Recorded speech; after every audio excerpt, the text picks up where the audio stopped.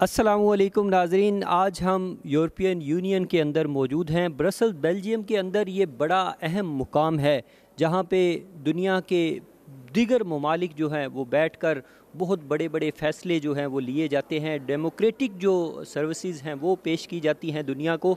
اور یہاں پر کشمیر ویک کے حوالے سے یورپین جو کونسل ہے، کشمیر کونسل اور اس کے ساتھ ساتھ جو یورپین ممبران پارلیمنٹ ہیں، کشمیر اور پاکستانی نیاد انہوں نے مل کر جو ہے کشمیر کے حوالے سے بہت اہم کانفرنس کی ہیں۔ ہمارے ساتھ جو ہے ایم ای پی افضل خان صاحب موجود ہیں، جو کہ پاکستانی و کشمیری کمیونٹی کی نمائندگی کرتے ہیں۔ یہاں برسلز کے اندر، یورپین پارلیمنٹ کے اندر، ان سے ہم پوچھتے ہیں کہ یہ جو ویک منایا گیا ہے کشمیر کانفرنس کے حوالے سے اور یہ یورپین یونین کی امبریلا کے نیچے یعنی اس سے کیا جو ہے تقویت پہنچے گی تحریک آزادی کشمیر کو، کیا فائدہ ہوگا؟ اور وہ جو مظالم ڈھائے جا رہے ہیں، کشمیر کے اندر جو ہے شہادتیں رونما ہو رہی ہیں، ان کو روکنے کے اندر، ان کا صد باب کرنے کے حوالے سے یہ کیا جو ہے وہ ثابت ہوگا؟ جی میں سمجھتا ہوں یہ بہت پازیٹیو سٹیپس ہیں کہ ہم یورپین یونین کے ہارٹ میں جو کہ پارلیمنٹ ہے اس میں ہم کشمیر ویک کو منا رہے ہیں اور خوشی کی بات ہمارے لیے یہ بھی ہے کہ پاکستان کے، کشمیر کے جو پرائم منسٹر ہیں اور ان کے ساتھ سینئر منسٹرز بھی ہیں، وہ بھی آئے ہوئے ہیں اور انہوں نے باقاعدہ ایکسبیشن کو بھی لانچ کیا اور مختلف ایونٹس ہم نے یہاں پہ آرگنائز کی۔ کوئی ڈزن سے زیادہ میں نے ان کی میٹنگ سینئر لوگوں کے ساتھ یہاں پہ آرگنائز کی ہیں۔ اور انشاءاللہ کچھ اور بھی ابھی کریں گے۔ تو جو یورپین یونین ہے نا، اس کی امپورٹنس کو سمجھنے کی ہمیں ضرورت ہے کہ دنیا میں جو بڑے بڑے ادارے ہیں، ان میں سے ایک یہ ادارہ ہے، یہ یونیک ادارہ ہے اور بہت ہی امپورٹنٹ ہے۔ یونیک اس لحاظ سے ہے کہ اس طرح کا ادارہ دنیا میں اور کہیں نہیں ہے۔ ٹونٹی ایٹ کنٹریز کے ممالک، وہ ملک جو پاورفل ملک ہیں، دنیا کی سب سے بڑی اکانومی بھی ان کے ہاتھوں میں ہے، وہ مل کے یہاں پہ کام کرتے ہیں۔ اور یہ سب سے زیادہ دنیا کے ڈیولپمنٹ بجٹ میں پیسہ دیتے ہیں۔ اور امن کے لحاظ سے بھی یہ امریکہ یا رشیا کی طرح کی ان کے رویہ نہیں ہے۔ ان کا بہت پازیٹیو ہے۔ یہ چاہتے ہیں کہ امن جو ہے وہ بڑھے۔ ہیومن رائٹس جو ہیں بڑھیں۔ ڈیموکریٹک جو پروسیسز ہیں ان کو اسٹرینگتھن کیا جائے۔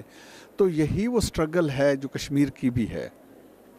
تو اگر ہم یہاں پہ آئیں گے تو کریں گے، کیونکہ ان کی سب سے بڑی تجارت منڈی ہے، تو مختلف ممالک جو ہیں، ان کے ساتھ رشتہ قائم کرنا چاہتے ہیں اور ان میں سے انڈیا بھی ہے۔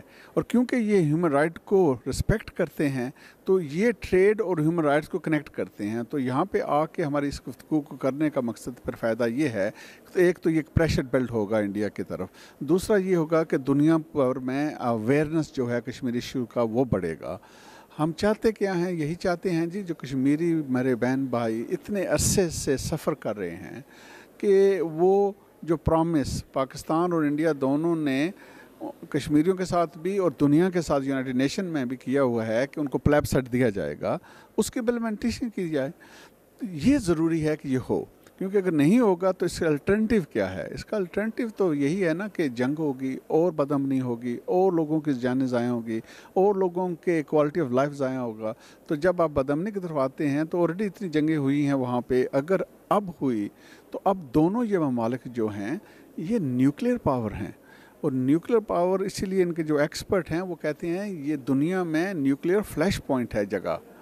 یہ افورڈ نہیں کر سکتے۔ میں وائس پریزیڈنٹ ہوں سیکورٹی اور ڈیفینس کا یورپ میں، اور میں مختلف ممالکوں میں جاتا رہتا ہوں جہاں پہ جنگیں بھی ہو رہی ہیں، اور پرٹیکولرلی جاپان کے میں اشارہ کر رہا ہوں کہ وہاں پہ نیوکلیئر بم استعمال ہوا تھا آج سے ستر سال پہلے۔ تو اس کے تثرات انسانوں پہ اور انوائرمنٹ پہ آج بھی ہیں۔ لیکن جس نیوکلیئر کی بات ہم کر رہے ہیں، یہ اس سے کئی گنا پاورفل ہے۔ تو ڈیوسٹیشن ہوگی۔ تو نہ پاکستانی، نہ کشمیری، نہ انڈین، نہ ساؤتھ ایشیا، نہ ورلڈ یہ فوٹ کر سکتا ہے۔ یہ رہ صاحب اگر ہم دیکھیں تو فرتے جذبات کے اندر دونوں یعنی ممالک کے، پارلیمنٹ کے اندر سے، عوام کے اندر سے کچھ لوگ ایسے نام نہاد جو دانشور ہیں، کہتے ہیں کہ جناب جنگ ہوگی، نست و نابود کر دیں گے یعنی ہم طاقت رکھتے ہیں نیوکلیئر رکھتے ہیں۔ تو نیوکلیئر کے استعمال سے دنیا کو اور کشمیر کو جو ہے وہ کیا فائدہ پہنچنے والا ہے؟ وہ دانشور تو نہیں ہو سکتے جو اس طرح کی گفتگو کرتے ہیں۔ وہ بنیادی پوائنٹ کوئی نہیں سمجھ رہے کہ ڈیوسٹیشن ہونی کتنی ہے اور کتنے عرصے کے لیے یہ ہونی ہے۔ تو میں تو ان کو دانشور کبھی بھی نہیں ایکسیپٹ کروں گا۔ اور دوسری پوائنٹ یہ ہے کہ وور نے کبھی بھی سلوشن نہیں دیا۔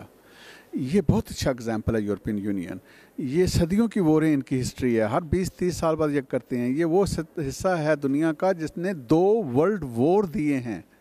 انہوں نے سمجھ گیا ہے یہ بات کہ ایکچوئل اگر آپ پروگریس کرنا چاہتے ہیں پروسپیرٹی چاہتے ہیں، تو جنگ کا طریقہ نہیں ہے۔ اسی لیے یہ ادارہ آیا ہے۔ اسی لیے اس کو نوبل پرائز ملا ہوا ہے پیس کا۔ اسی لیے یہ ڈیموکریسی کو چیمپئن کرتا ہے۔ اسی لیے یہ ہیومن رائٹس کو چیمپئن کرتا ہے کہ وہ سمجھتے ہیں اس پوائنٹ کو۔ تو ہمیں بھی یہ سمجھنا چاہیے۔ ہمیں بھی چاہیے کہ ہماری جو عوام پاکستان میں ہے، کشمیر میں ہے، جو انڈیا کے اندر ہے ساؤتھ ایشیا کے بلینز لوگ یہ ہیں، ان کو ہمیں ہاسٹیج نہیں لینا چاہیے۔ ان کو فری کرنے کی ضرورت ہے تاکہ یہ پروگریس وہاں پہ بھی آئے۔ دنیا کھڑا نہیں ہے، دنیا چل رہی ہے ہاں؟ تو ہم چاہتے ہیں کہ یہ بھی ایسے حصہ جو ہے ورلڈ کا یہ بھی پروگریس کرے۔ تو اس کا حل یہی ہے کہ اپنے پرابلمس کو ہم سولو کریں اور وہ بہتر طریقہ ہوتا ہے گفتگو سے ہاں؟ کہتے ہیں نا وہ چرچل بڑا فیمس اس کا سینگ ہے جو جو ریدر دین وور وور تو یہی ایکچولی ہمارا سلوگن ہونا چاہیے کہ ہمیں نگوشیشن کے سلوگن لانا چاہیے وور کے نہیں لینے چاہیے۔ جی رہ صاحب یہ آپ نے بڑی خوبصورت بات کی کہ امن کا جو پیغام ہے دنیا میں پہنچنا چاہیے اور یورپین پارلیمنٹ جو ہے اس کا چیمپئن ہے۔ اور جہاں سے آپ کا تعلق ہے برٹش جو ڈیموکریٹک کنٹریز کی جو ہے مدر آف ڈیموکریسی جنہیں کہا جاتا ہے۔ تو وہاں سے بھی آپ کا تعلق ہے۔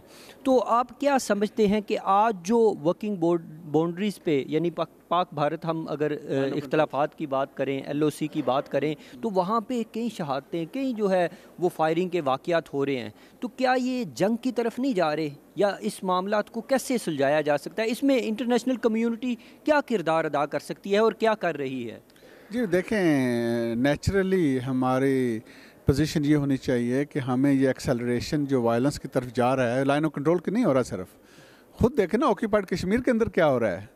ڈیلی جو کرفیو چلے جا رہے ہیں one point two million pellets fire کیے گئے انسانوں پہ، جانوروں کی بات نہیں ہو رہی، جانوروں پہ اس پیلٹ کیے جاتے ہیں۔ کسی کو وہاں جانے نہیں دیا جا رہا پارلیمنٹرین ڈیلیگیشن کو بھی نہیں جانے دیا جا رہا ہیومن رائٹس کی آرگنائزیشن کو جانے نہیں دیا جا رہا۔ تو یہ کیسے ایکسیپٹیبل ہے؟ تو ہمیں ایکٹیو ہونے کی ضرورت ہے کہ اس طرح کے خطرات کو ختم کریں اور ہم پروگریسو ہوں۔ ہم سٹیپ فورورڈ کریں مسئلے کو حل کرنے کے لیے۔ گفتگو عام طور پہ یہ کی جاتی ہے جی یہ بائی لیٹرل میٹر ہے۔ پر یہ کیسے بائی لیٹرل میٹر ہے؟ اگر ہے بھی ہے تو کتنے عرصے سے ناکام جا رہا ہے؟ تو کیا ناکامی رستے پہ ہی چلنا رہنا چاہیے؟ یا کوئی نیا رستہ دیکھنے کی ضرورت ہے؟ اور جب بائی لیٹرل ہے تو کشمیری کہاں ہے؟ جو اصل پھنس رہے ہیں، اس میں جو اپنی جانیں دے رہے ہیں، وہ کہاں ہیں؟ تو یہ ایکسیپٹیبل نہیں ہے۔ اسی لیے میں نے دو بار فیڈریکا مکرنی سے یہ اپروچ کیا ہوا ہے، جو یہاں کی مین ہے وائس پریزیڈنٹ بھی ہے اور فارن افیئرس کو ڈیل بھی کرتی ہے۔ ڈائریکٹلی میری اس کے گفتگو ہو چکی ہے کہ یہ چیزیں ایکسیپٹیبل نہیں ہے ہم افورڈ نہیں کر سکتے نیوکلیر فلیش پوائنٹ اور کیونکہ ہم امن چاہتے ہیں، تو اس کے لیے یہ مسئلے کو حل بھی کرنے کی ضرورت ہے۔ تو آئی تھنک ہم اس چیز کو اب موومنٹ کر رہے ہیں۔ ہو سکتا ہے جلدی یہاں سے ریزولوشن بھی آئے اس نقطے پہ ہیومن رائٹس پہ، تو اس پہ بھی کام ہو رہا ہے۔ ریسب حالیہ جو ہے یونائٹڈ نیشن کے اندر جو تھرڈ تھرٹی تھرڈ جو سیشن ہوا، اس کے اندر بھی یورپین یونین سے بھی جو ہے فیکٹ فائنڈنگ مشن کی جو ہے وہ باتیں کی جاتی ہیں۔ تو اس سے آپ کیا سمجھتے ہیں؟ وہ کب تک جو ہے عمل عمل پذیر ہوگا اور اس سے کیا جو ہے تحریک آزادی کشمیر کو تقویت ملے گی۔ جی جی۔ دیکھیں ہم کوشش کر رہے ہیں، اسی لیے یہ پوزیشن وہاں پہ تھی یورپین یونین کی۔ اس سے پہلے میری فیڈریکا مکڈنی سے گفتگو ہو چکی تھی۔ اب بھی ہم کر رہے ہیں۔ اور یسٹرڈے بھی وہ یہاں پہ آئی ہوئی تھی۔ تو ہمارا پریشر یہی ہے کہ جب بھی موقع ملے، ہم انڈیا کو یہ بات کریں، پاکستان کو بھی کہیں، بھائی، بہتری کی طرف آئیں، خرابی کی طرف نہ جائیں۔ تو ہم اس پریشر کو مینٹین رکھیں گے۔ اور یہاں پہ جو ہم کر رہے ہیں کام، اس کا بھی مقصد یہی ہے کہ اس اویئرنیس کو بڑھایا جائے۔ اور جو ہمارے بہن بھائی ہیں، میں ان کو ڈائریکٹ اپیل کرتا ہوں کہ دیکھیں، آپ اس ڈیموکریٹک بیسس کے اندر یورپین یونین کے اندر رہ رہے ہیں۔ تو آپ کا بھی فرض بنتا ہے کہ آپ کے ممبر آف پارلیمنٹ ہیں، آپ کے جو کاؤنسلرز ہیں، آپ کے جو یورپین ممبر آف پارلیمنٹ ہیں، ان کو اپروچ کریں۔ آپ کے گھر بیٹھے رہنے سے، نعرہ بازی کرنے سے، فوٹو چکانے سے کشمیریوں کے حالات نہیں بدلیں گے۔ لیکن جب ہمارے بہن بھائی اپنی جانے جانوں کا قربانی دے رہے ہیں، تو ہمیں کم از کم یہ تو کرنا چاہیے کہ ہم جا کے اپنے پولیٹیکل لیڈرشپ جو ہیں ہمارے، ان کو اپنا پیغام بچائیں کہ ہم یہ چاہتے ہیں، یہ چیز ہو رہی ہے۔ جب آپ پریشر ان پہ ڈالیں گے، جب آپ جا کے ان کو بتائیں گے، تو پھر یہ اویئرنیس بڑھے گی۔ اور اس کے ساتھ جو دوسرا پوائنٹ ہو رہا ہے، کیونکہ بریکسٹ ہو رہا ہے، تو ہو سکتا ہے کہ چند سالوں میں برٹن کے جو ایم ای پی ہیں وہ یہاں پہ نہ ہوں۔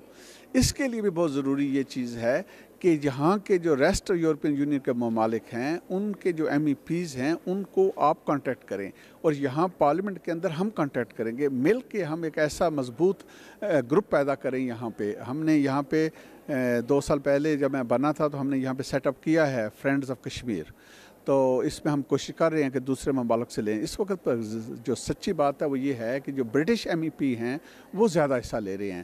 تو یہ ہمارے لیے خطرہ بھی ہے۔ اگر ہم برٹن نکل جائے گا تو پھر یہاں کون آواز اٹھائے گا؟ اس کے لیے ابھی ہمیں کام کرنے کی ضرورت ہے اور یہ آپ سے اپیل ہے۔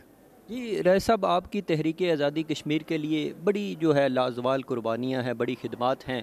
میں پوچھنا چاہوں گا کہ تحریک آزادی کشمیر کا ایک پہلو بڑا حساس ہے کہ وہاں پہ یہ کہا جا رہا ہے کہ راہ جو ہے وہ داعش کے ساتھ گٹھ جوڑ کر کے جو ہے تقریبی کاروائیاں اور انتہا پسندی کے لیے جو ہے کچھ نوجوانوں کو بھی جو ہے استعمال کیا جا سکتا ہے تقریب کاری کے لیے، ذہن سازی کے لیے۔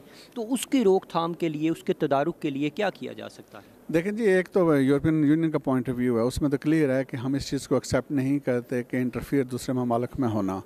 ہم سمجھ رہے ہیں صرف یہ کشمیر کا مسئلہ نہیں ہے، بلوچستان کے حوالے سے بھی کروائیاں ہو رہی ہیں، افغانستان کے حوالے سے بھی کروائیاں ہو رہی ہیں، تو یہ ایکسیپٹیبل نہیں ہے۔ یہ بہتر بھی نہیں ہے، کیونکہ اگر ایک ملک کرے گا تو دوسرا بھی پھر کرے گا، دوسرا کرے گا تو کیا ہوگا؟ امن خراب ہوگا۔